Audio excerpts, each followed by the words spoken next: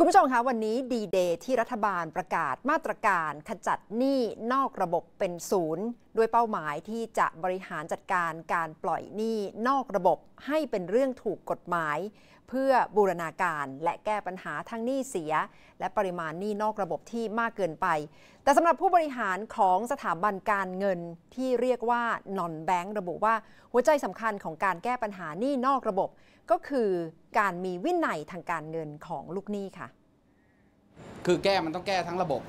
ครับแล้วในส่วนของลูกหนี้ก็ต้องมีวินัยมากขึ้น ทางผู้ประกอบการที่เข้ามาทำพิโคเนี่ย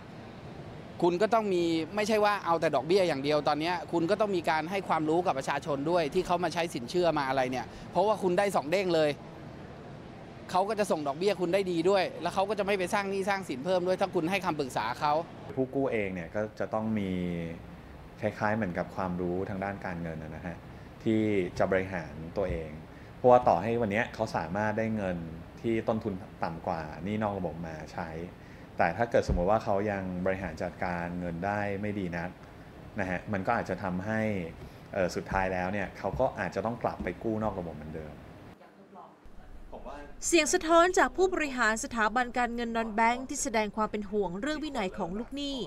คือหัวใจสำคัญหลังจากได้รับสินเชื่อ การแก้ปัญหาหนี้เสีย และการพึ่งพาเงินกู้นอกระบบ หนึ่งในความพยายามของรัฐบาลคือการเปิดตัวพิโกไฟแนนซ์หรือสินเชื่อรายย่อยระดับจังหวัด โดยก่อนหน้านี้เปิดตัวนาโนไฟแนนซ์ไปแล้ว ซึ่งนาโนและพิโกไฟแนนซ์มุ่งหวังเอาใจลูกค้าสินเชื่อรายย่อย และแก้ปัญหาหนี้นอกระบบทางสำนักงานเศรษฐกิจคลังก็พยายามดูแลอยู่ใกล้ชิดอยู่ปัจจุบันนี้ มั่นใจนะว่าเจ้าหนี้ระบบปัจจุบันเนี่ยเขากลัวเริ่มกลัวแล้วเพราะมีที่ท่านนายกสั่งแล้วว่า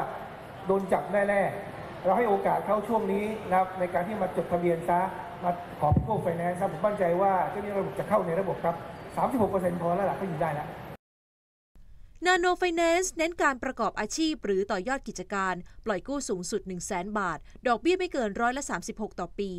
ส่วนพิโกไฟแนนซ์ปล่อยกู้เพื่อการบริโภคหรือจำเป็นฉุกเฉิน ในรูปแบบสินเชื่ออเนกประสงค์ เช่น ค่าเล่าเรียนบุตร ค่ารักษาพยาบาล วงเงินสูงสุด 50,000 บาท ดอกเบี้ยไม่เกินร้อยละ 36 ต่อปี ธุรกิจสีเทาอย่างการปล่อยเงินกู้นอกระบบที่เรียกเก็บดอกเบี้ยโหดจากลูกค้า ซึ่งส่วนใหญ่หนีไม่พ้นประชาชนผู้มีรายได้น้อย หาเช้ากินค่ำเป็นปัญหาเรื้อรังที่รัฐบาลทุกยุคพยายามแก้ไขย้อนกลับไป 16 ปีก่อน โครงการธนาคารประชาชนตั้งเป้าให้เงินทุน หรือเงินทุนหมุนเวียนในการประกอบอาชีพ หรือเป็นค่าใช้จ่ายในการดำรงชีวิต ปี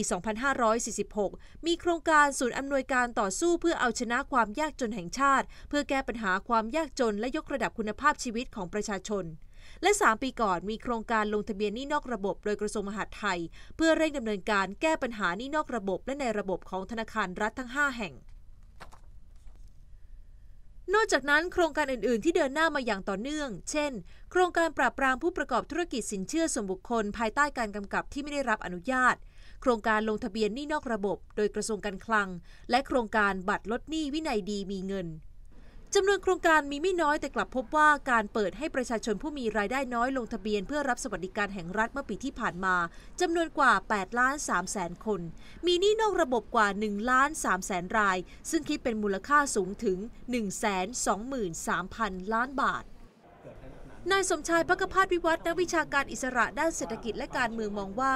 การแก้ปัญหานี้นอกระบบของรัฐบาลชุดนี้เป็นรูปธรรมมากขึ้น ทั้งดอกเบี้ยที่โปร่งใส และลดความรุนแรงระหว่างเจ้าหนี้และลูกหนี้